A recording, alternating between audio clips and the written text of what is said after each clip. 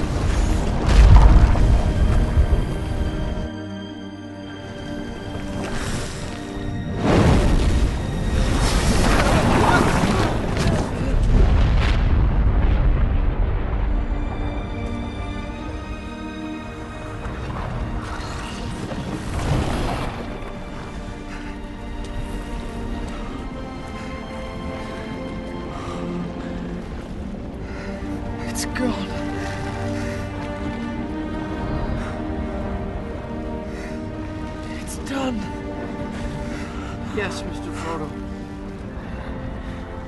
It's over now.